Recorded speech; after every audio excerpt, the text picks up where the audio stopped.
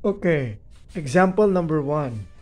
Um, we have here two equations, x plus y equals 3 and y equals x minus 1. The first thing we do is, we choose which of these two equations isosolve natin. Okay? Um, ikaw na bahala class kung ano isolve mo, y ba or x. Okay, for this example, nakasolve na kasi yung isa. Nakasolve na si y. Solve an equation for one variable. I will choose equation 2 kasi nakasolve na siya. Okay? After nakasolve na, nakasolve ka na ng variable dyan, y or x, pili ka lang, isubstitute mo siya ngayon sa hindi nagamit na equation, which is equation 1. So, x plus y equals 3. Tama? Ano gani si y? No. Substitute. O yan ang tinatawag na substitution method. x plus x 2x minus 1 equals 3. Lipat si negative 1 sa kabila, it becomes 3 plus 1.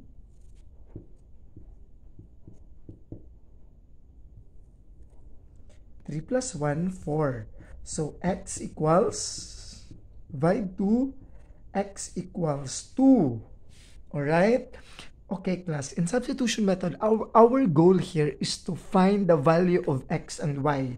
So, we are now looking for the value of y because we have x na. So, paano ma-solve si y? I-substitute mo ang x sa any of the equation.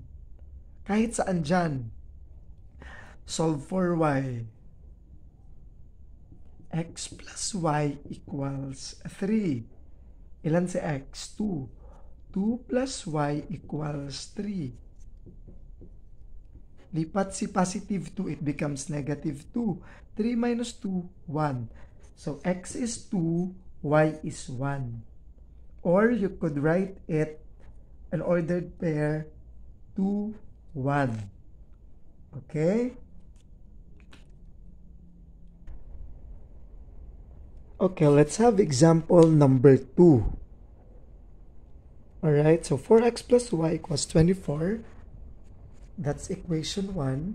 And 2x minus 3y equals negative 2. That's equation 2. First is, magpili ka sa dalawa saan ang isolve mo na variable. I will choose equation 1. Why? Kasi may 1 na kasi, maghanap ka ng may 1 na coefficient. Saan lang may 1 dyan? Itong si equation 1 So I'm gonna solve this one. I will solve for y. So lipat mo si 4x, it becomes negative 4x plus 24. O, meron ka na nito. Nakasolve ka na ng isang equation. Ngayon, ang gagawin mo, isa-substitute mo ito sa equation na hindi nagamit. Which is, anong equation? Equation number 2. Okay? So, 2x minus 3y equals negative 2. 2x minus 3. Ilan si y? Substitute. Negative 4x plus 24 equals negative 2.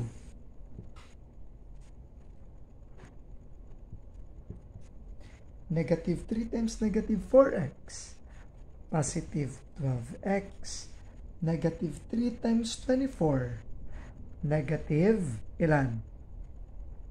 72 equals negative 2. 2x plus 12x class. That's 14x. Si negative 72, ilipat sa kabila because you will be solving for x na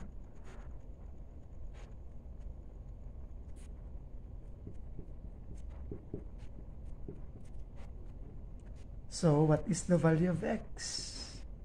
Divide 14. x is 5. So, meron naman tayong x class. Paano naman natin mahanap ngayon ang y? Okay, substitute x to this any of the any of these equations. Ano kaya ang mas madali? Okay, let's try equation 2.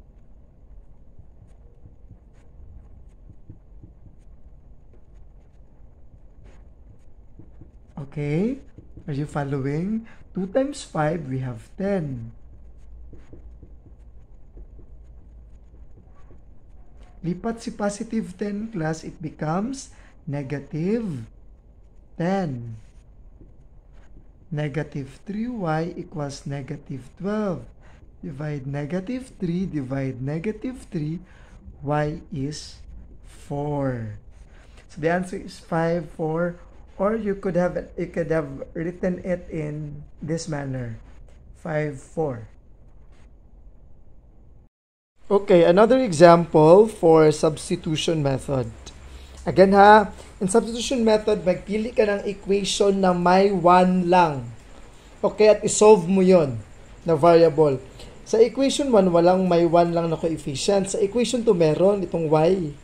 So, since siya ang may 1, so solve ko siya. Y equals, lipat ko si negative 2x. Pag ilipat ka, it becomes negative 2x minus 1. Okay nakasolve ka na ng isang variable. Ang gagawin mo, isa-substitute mo doon sa equation na hindi nagamit. Ang, at, at ang equation na yan is ang equation 1. So, 4x minus 5y equals negative 23. 4x minus 5, ilan si y? Negative 2x minus 1 equals negative 23. Negative 5 times negative 2x, that's positive 10x. Negative 5 times negative 1, that's positive 5. Negative times negative, positive ha? Negative times negative, that's positive. 4x plus 10x, 14x. Okay? So ngayon, negative 23. Lipat si positive 5, it becomes negative 5. Okay, punta tayo dito. So, 14x equals negative 23 minus 5, negative 28. Same sign, add. O, divide 14, solve for x. Negative 28 divided by 14 plus, that's negative 2. So, you have now the value of x. So, ang gagawin mo, solve for y. Solve for y. Paano? I-substitute mo yung x. Pili ka sa equation 1 equation 2. Saan lang mas madali i-solve? Mas madali ang equation 2, no? Kasi 2 lang dyan, 1 lang. Alag ito, 4, 5, 23. Malaki. So, piliin natin ang equation 2. Ilan si x? Negative 2 plus y equals negative 2 times negative 2. Negative 4 plus y equals negative 1. Lipat si negative 4. Negative 1 plus 4. So the answer is 3.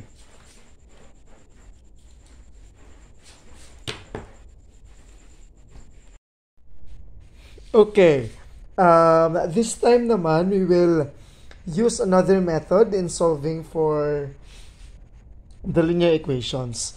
Um, this method is called the elimination method. So how to eliminate? Okay, what you will do with these two equation, equation 1 and 2, is you're gonna add it up.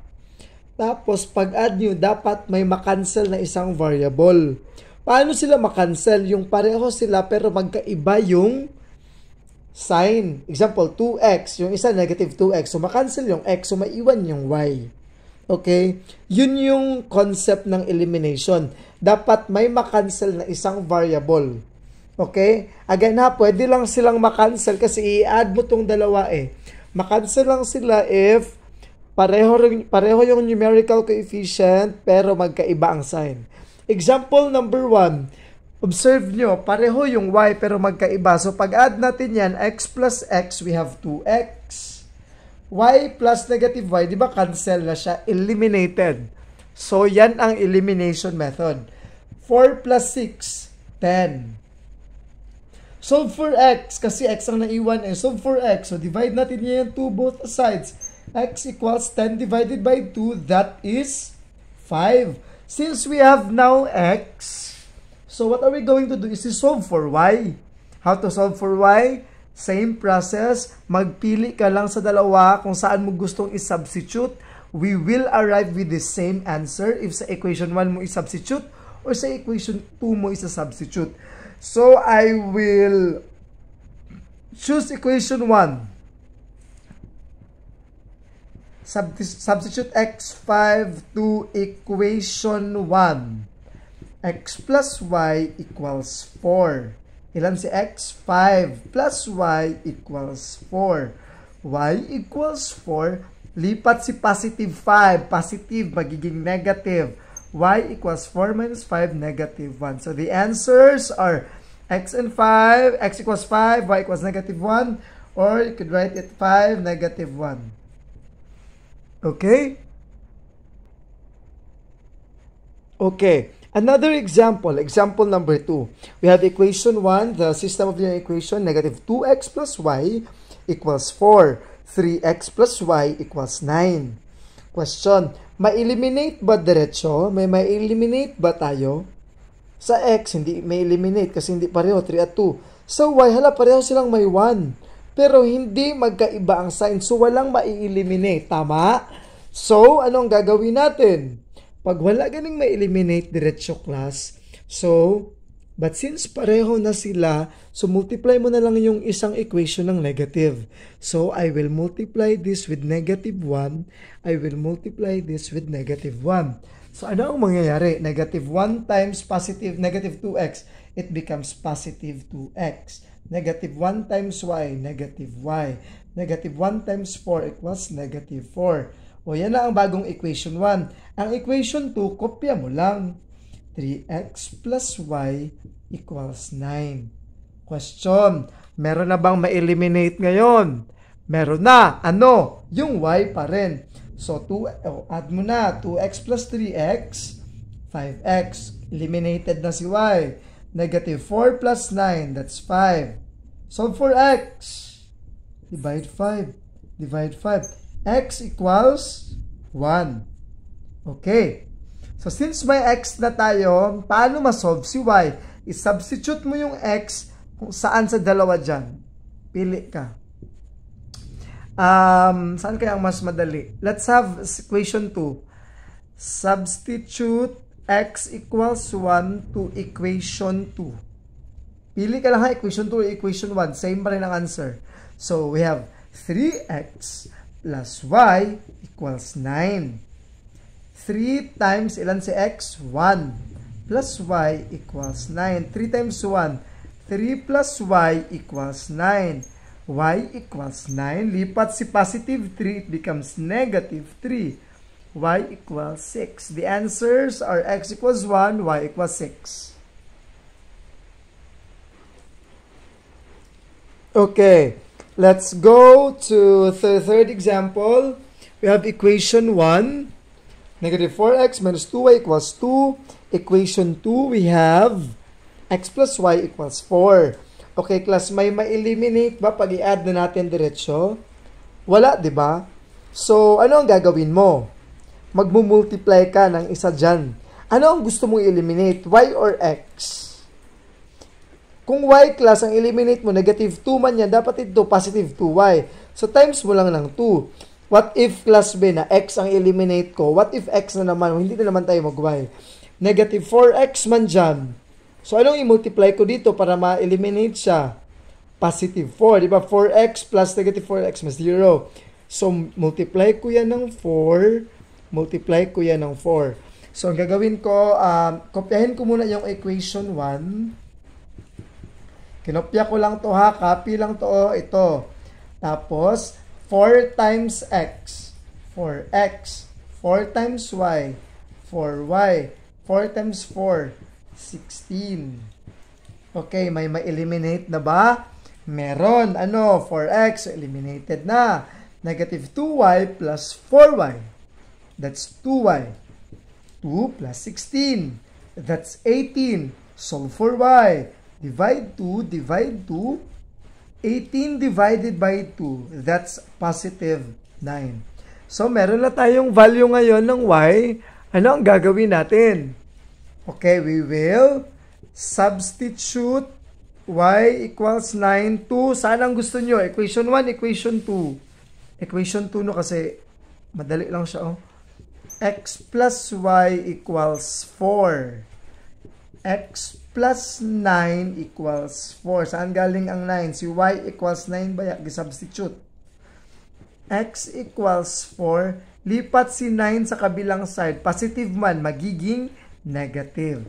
x equals 4 minus 9. That's negative 5. So the answers are x is negative 5, y equals 9, or pwede mo rin isulat ng pag ganun. Same pa rin yan. Pag hinahanap gani ordered pair, oh, ito ang coordinate, oh, ito ang pagkasulat mo.